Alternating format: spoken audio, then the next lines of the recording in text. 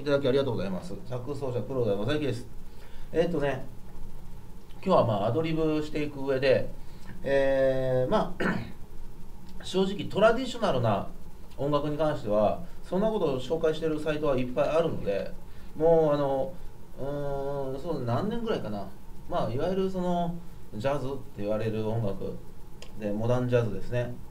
言われるような音楽で通用するような音楽理論に関してはもうここでは一切お話しする気はあんまないんです。で、まあ、その辺はもうねあの他のサイトでやってみてもらってね、とかあの、まあ、本でも一つ買えばね済む話で。でそうじゃなくてねあのまあどうでしょう80年代ぐらいから随分やっぱりいろんなコードまあ今時のコードじゃちょこちょこ出てるんですよね。で別に今時じゃないんだけどね正直。言ってもう80年代だとしたら、えー、どのぐらいだったの？もう40年だったんですよ僕生まれた時ですからねこれね。僕はあの75年生まれですから。でそのぐらいからもうすでにあるものなんで別に最新の理論でも何でもなくて。ただその本買ってもあんま書いてないよね。とか、まあ、さらっと書いてあってあんまりこう説明になってないよねみたいな、えー、そういうのがまああります。で今日はね SAS4 コード。セブンスの SAS4 コードについてちょっとお話ししたいなと思ってて。で SAS4 っていうのはあの、大体そのコーダルな音楽に関して言えばセブンスコードの前、まあ、大体そのメジャーコードの前にね置かれて、えー、4度が係留してるんですね。4度じゃ3度ですね。だからえー、っとちょっと音下げようかね。今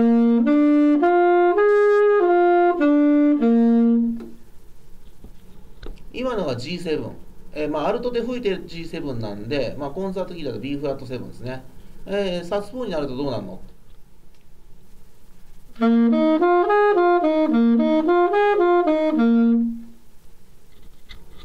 えー、こんな感じの、まあ、東洋的なサウンドとよく言われます。確かにねあの4度完全4度って東洋的なサウンドがするので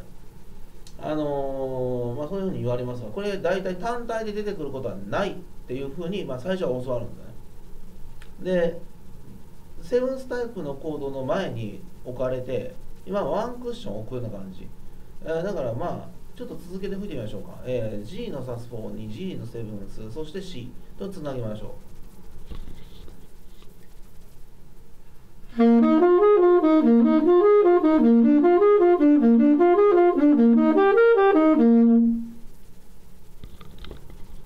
な感じで、まあ、セブンスに行く前の、まあ、前置詞のような感じで置かれることがある、えー、そういうものだったんですけどもこの希薄なサウンド要するに3度がないんですよね。でメジャーなのマイナーなのも曖昧だし何を思考してるの？っていうのも曖昧だし。これが、まあ、まあまあその80年代以降のね音楽にはまあちょうど合ってる部分もあってまあ多分ね走りはねジャズの世界でいくと走りはね処女公開、えー、メイディンボヤージュ。でね、えー、ハービー・ハンコックが使い出したのが、まあ、きっかけになったのかなとまあまあ勝手に思ってるんですけどまあそれ以外にもねまああるあるのはあったでしょうけどね。有名にしたのはあれじゃないかななんて思うんです。でまあちょっとリアルタイムで生きてないのでね生まれる前の話なんでよく分かりませんが時系列に関してはね。でああいう希薄なものえー、まああの性格が希薄なもの。これ性格が希薄ってどういう意味かっていうとトニックな終わったって感じするでしょ。ドミナント今今から終わるぞって感じするじゃないですか。でまあここここ分かんない人はとりあえずあの本でも買って。で予想のサイトでちょっと勉強してみてください。でまあそれがまあ一応分かる人一応相手に、えー、お話ししてみこうと思います。でそのキャラクターですね。コードにはキャラクターというかその機能っていうんですけどファンクションですね、えー、機能和声というふうに日本語では教えますけども機能和声、えー、コードには役割があるんだ。でこれはこういう役割なんだ。ああいう役割なんだ。だからこういうふうにつなげないとダメなんだ。まあダメなんだというか、まあ、このふうにつなげた方が自然なんだ。というような理屈がですね理屈というのはあの理論ですね、まあ、これがコード理論と言われるものになりますがその枠にとらわれないものっていうのはどんどん出てきます。で未だに生まれ続けてます。で一応その基本的なコードの読み方を知っていれば知らないコードであったとしてもあまあおそらくこういうサウンドなんだろうっていうのは予想はできます。というかまあ予想ができるぐらいには習熟してほしいんですよね。で、えー、今回例題に使うのはこういうコード進行見えますか、えー、あと概要欄にも書いておこうと思いますが見えました？E7 の SAS4 の次に Dm7 これを延々と繰り返してます。でまあそういう音楽なんですよね。でまず最初気になるのはこれキー何？何のキーですか？これはねはっきり言って今までの今までのは古い理屈のままでいくと分かんない。いやこれだけじゃ手がかりがない。っていうのがまあ正解っちゃ正解。ただまあこれ作った人に聞かないと本当は分かんないですよ。でも解釈としてまあ d マイナーなんですよ。D マイナー d マイナー7っていうのはもうトニックマイナーなんですよ。でどうしてそう言い切れるの？別にその明確ななんちゅうとこうこうこうだからっていうのはもう材料が長すぎて分か分かんないんですよ。ただ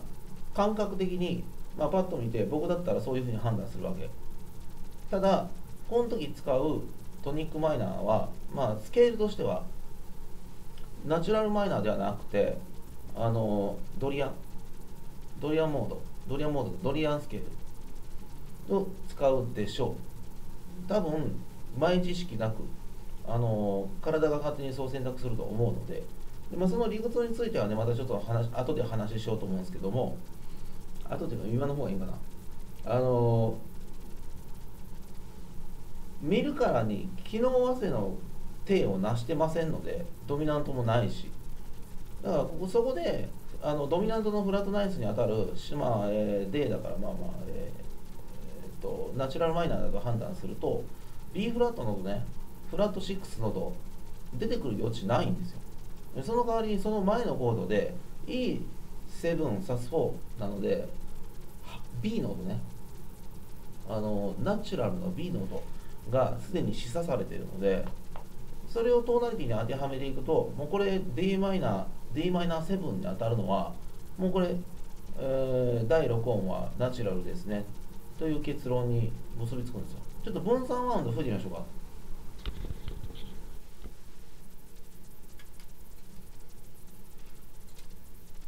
えー、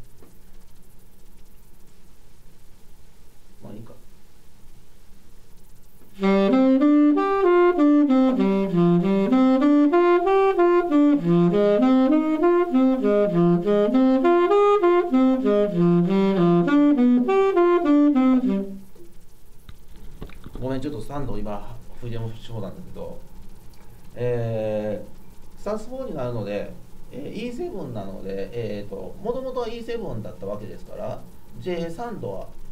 超3度のと G シャープのとが入ってくると思いきや、えー、ここのコードが SAS4 に変化させられているので A 音つまり第4度目ですね。完全4度の音に、えー、ひん曲げられてます。でそこで調整がガッとこうなくなるんですね。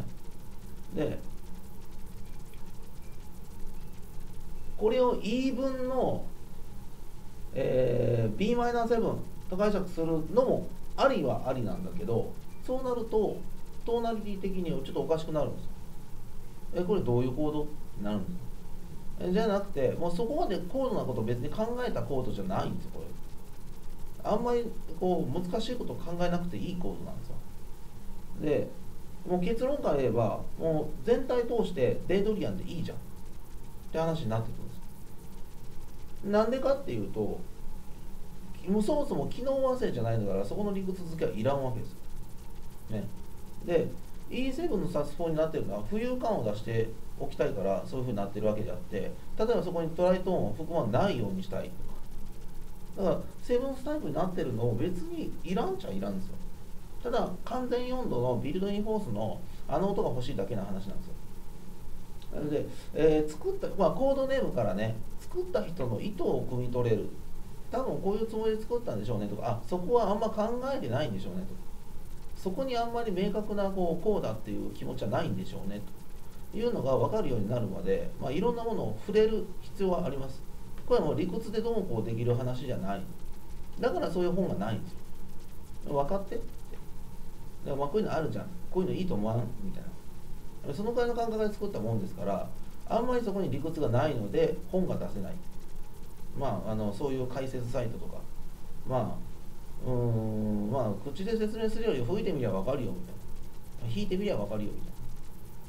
な。そういう類のものが非常に多いです。で今回この E7 のサス4と d マイナー7に対してどういうアプローチ考えられますか。いろいろ考えてみたんですよ。いろいろ考えたんだけど結局自然じゃない。ドリアン以外を使うと自然じゃない。ね。でえっ、ー、と E7 のサス4あ今アルトサックスで吹いてますからちょっと、えー、違う音しますよ。あのじ、えーと、絶対的には違う音しますよ。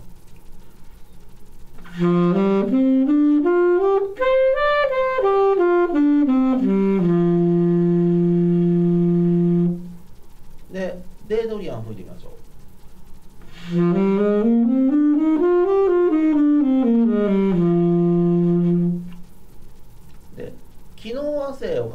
合機能和声でサス4が出てきたことを考えると大体第3音っていうのは、まあ、コードの中に入ってませんからまあ入れるとしたらその第3音が、まあ、大体ミクソリディアンが当たるんですよ。でミクソリディアンの第4音が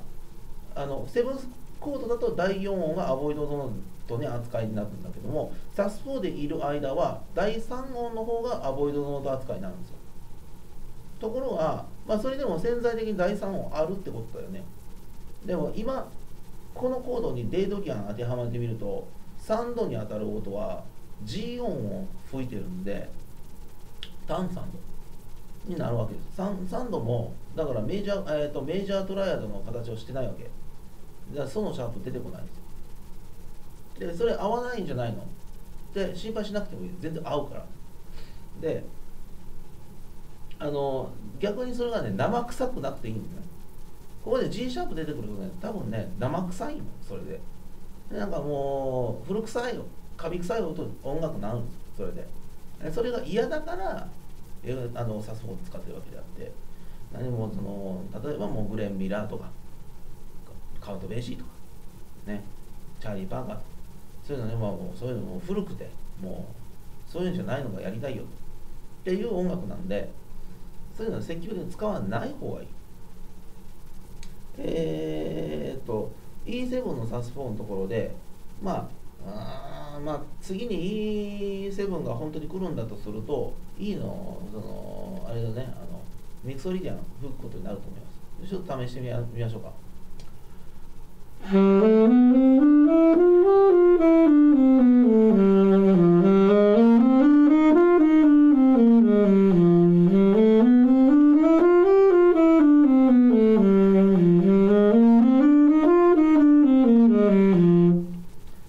成立はしないことはない。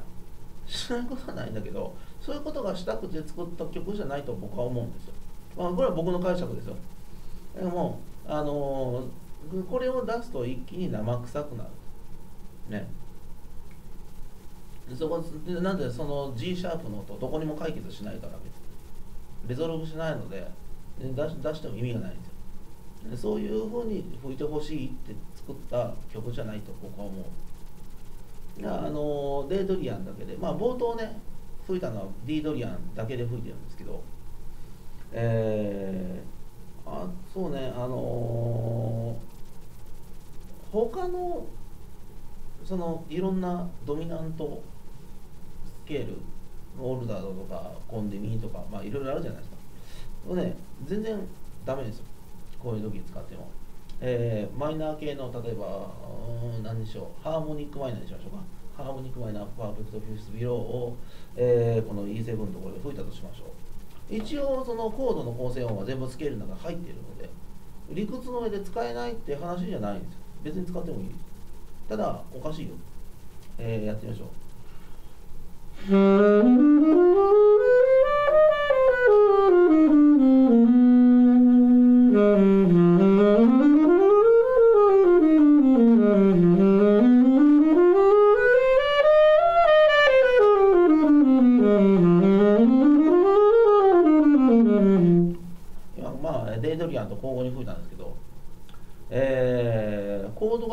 ったからといってまあまああのバップ的な考え方でいくとコードが変わったらコードに合わせたりスケールをねつけつけましょうと。いうのもあるけどこういうのはもうちょっとマクロ化して考えた方がまあ的を得やすい。で例えばあのその中では長く伸ばす音があったとしたら、まあ、あのアドリブの中に長く音伸ばしたいとしたらそれは何の音なの、まあ、このコードのにおける何の音なの？っていうのは意識はした方がいいです。っていうかまあそうしないとメロディーにならないよね。あのー、なんだか知らないけど吹いてるじゃあ、まあ、音楽になりにくいのででそう考えると、あのー、デードリアンの中で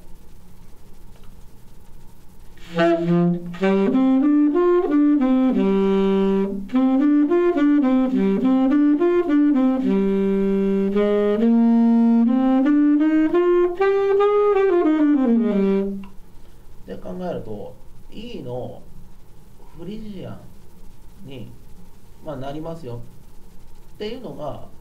E のフリジアンを吹けば E7 サスフォンの中で E のフリジアンを吹けばいいですよっていうのが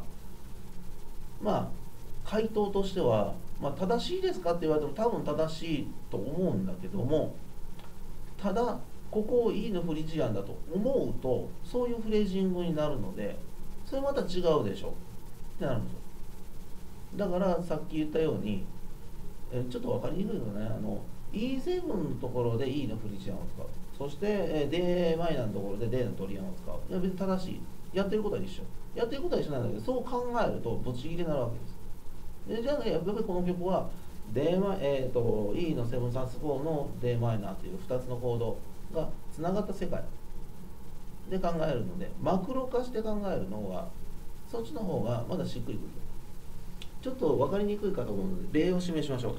えー、一つずつコードを分けて考えた場合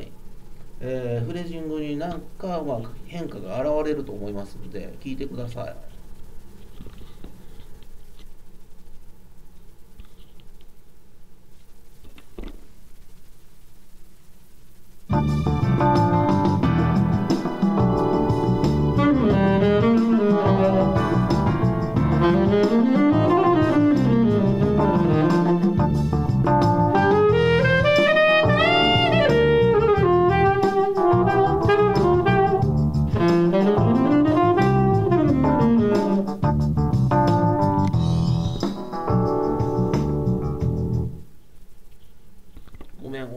間違えましたんでやり直します。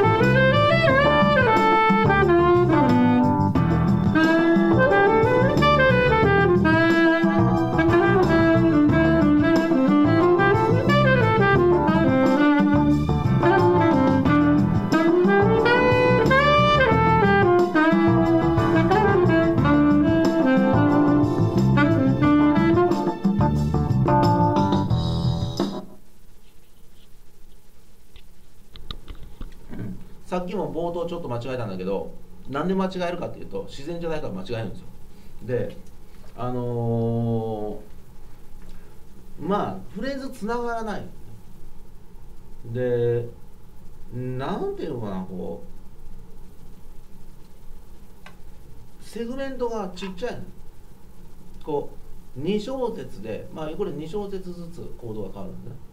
えー、E の7スタス4が2小節 d マイナ7が2小節。で2小節ずつ変わっていくんだけどもそのどうしてもフォーカスが2小節に当たるわけです。でもうちょっとこう大きな世界が作れないんですよ。まあ作りにくいんですよ。なのでここをコードは変わるけども4小節まあ弾いたこの1曲1曲通して10分ぐらいですけどねこれね、えー、全部通してあのー、デードリアンなんです。でその中で強調されるべき音が変わるんですよこのくらいの感じ、まあ、すごい大雑把ですよね。そういう感じで今から吹いてみようと思います。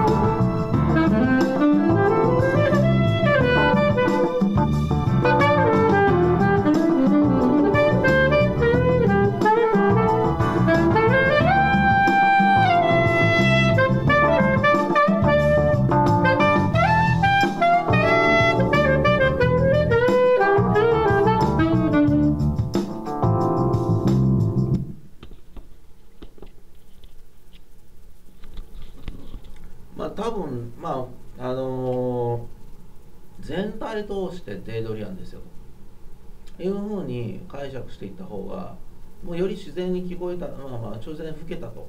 思うんですよね。で、まあ、この辺りで、まあ、聞いてる人がどういうふうに取るかっていうのがあっていや僕はこっちの方がいいと思うなって言うんだったらもうそれでいいんだけどまあ僕はこう思うよっていう話の、え動画なので、まあ、そこはもうそのように思ってください。であの、まあ、こういうのに間違いも減ったこれもないのであのこれで合ってますかっていうのも多分いやまあお前が合ってると思うんだったらいいよ合ってんじゃない？っていう内容です、まあ、内容的には、まあ、この辺の音楽からも大体そんなもんです。であの、まあ、昔からもそうですけどあの、まあ、その辺は顕著です。ね、まあ、この人はこうやって考えてやってんだ。っていうふうなのを聞くのが楽しい。みたいなね。そういう部分もあります。であのずっと同じやり方でやらなくても別にいいわけで。あのそこは好きにやればいいんですよ。結局好きに吹けばいいじゃないっていうね投げやりな感じの話に帰結するんだけどただあのやり方としてより自然なのでよりマッチしてるのはこっちの方がマッチしてんじゃないかなと。であとねさらにちょっとね話があの簡素化するんだけど例えばこれペンタトニックスケールで吹けないの。だから吹けますけど確かにそれもねあの解釈としてはありだとは思うんです思うんだけどもペンタトニックスケールって結構扱いが難しくて割とその素直にメロディーを作るのは簡単簡単というのはやりやすいスケールなんだけども調整感が非常に強いんですよ。でまいなっていう感じはするんですよ。であんまり浮遊感出てこないわけ。だからコーダルな曲もっとコーダルな感じの曲ね作る時に、まあ、あのペンタトニックスケール使うのは全然ありだと思ってるんだけども、えーまあえー、この場合だと全体を通して d マイナーペンタトニックをスケールを使うと吹けるんじゃないですかっていうことですよね。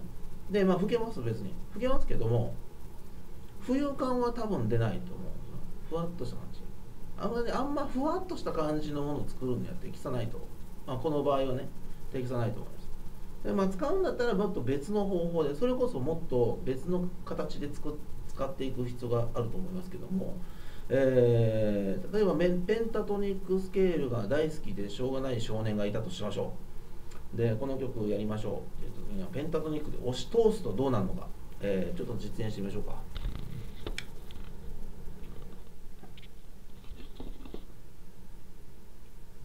別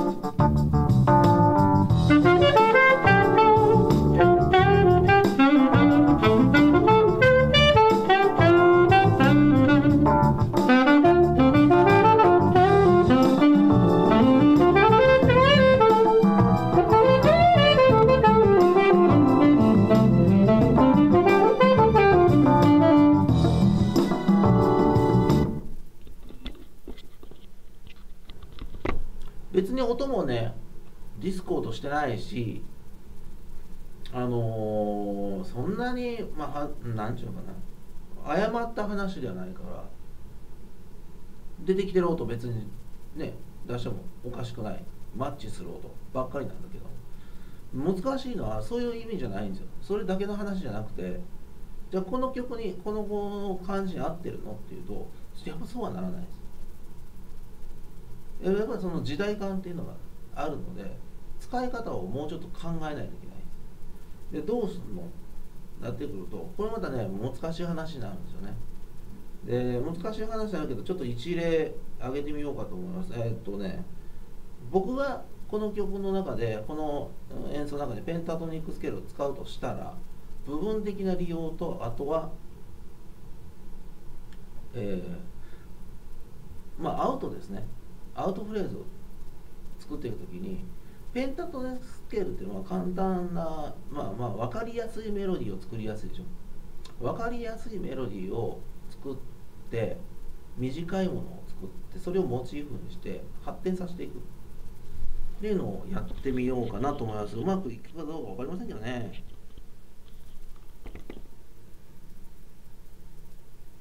ちょ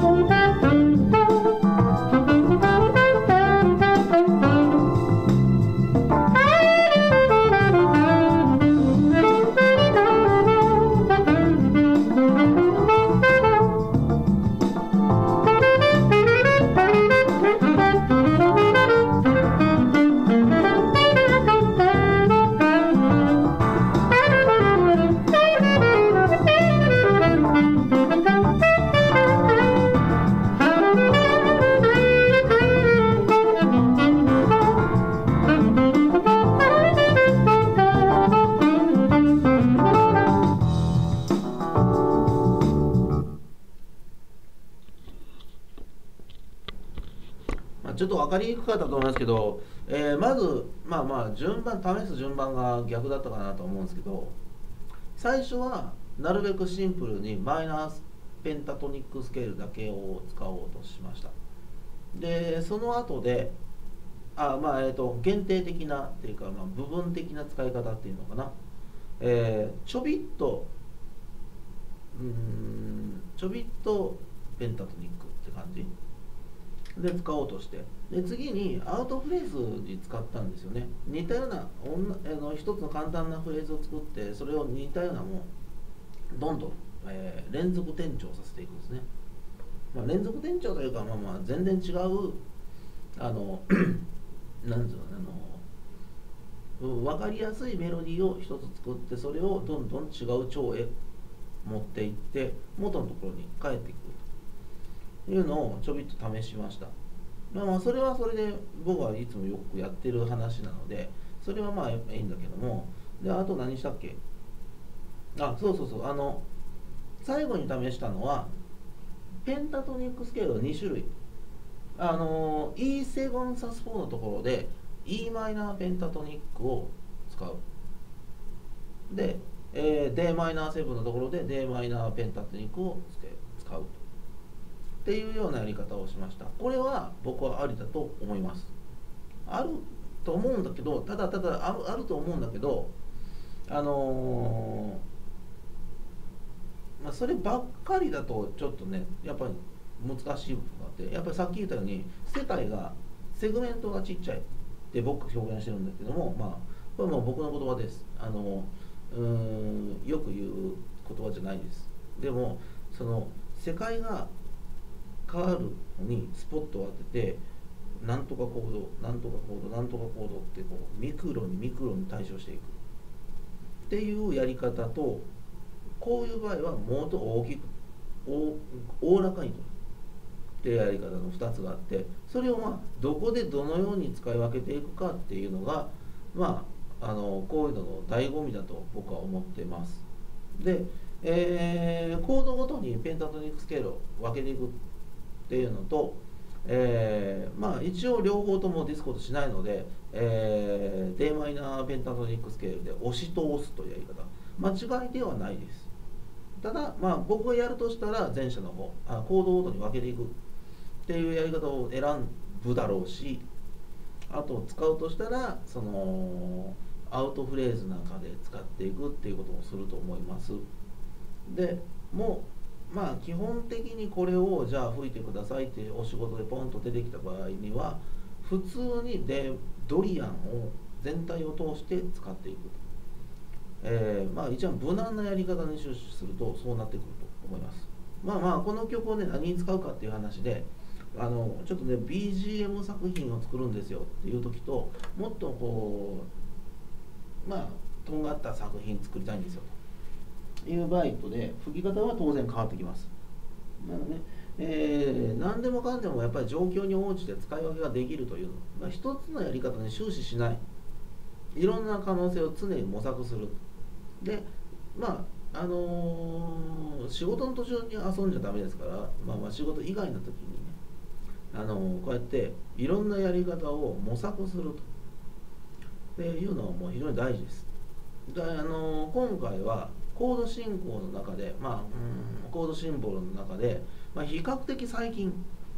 えー、まあ、100年前からあるもんじゃなくてっていう意味です。100年ぐらい前のもんじゃなくてここ50年ぐらいの新しい比較的新しいコードのサウンドに対してどのように、えー、アプローチしていくかっていうところをお話ししていく動画になりました。でまあちょっとねこういう内容をやってね反響あるかどうかそのまあ聞いてても分かんねえよって言われるかもしれないしあの良かったって思ってもらえるかもしれない人は分からないですけどももし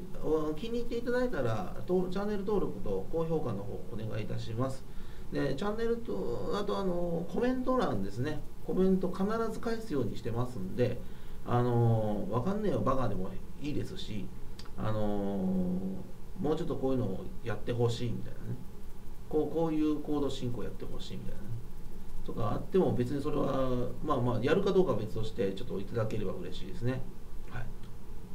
というわけで今日は、えー、まあそうねなんて言ったらいいんだろうこれ。2度セブン足す4って言っても多分間違ってないけど多分体は荒らしてないので。うん、あの適切じゃないとは思うんだけど、まあ、こういうコードですね。E7 足す4の次に Dm7 というコードがまあ繰り返される。こういうモチーフあモチーフというかこういうトラックに対してどういったアプローチで臨みますかといったところを、えー、解説。解説というかまあ僕の考えですね。僕の考えとやってみた結果を、えー、ご紹介させていただきました。というわけでね長くなりましたけど最後まで見ていただいた方本当にありがとうございます、えー、それではまた次の動画で、えお会いいたしましょう。ではありがとうございます。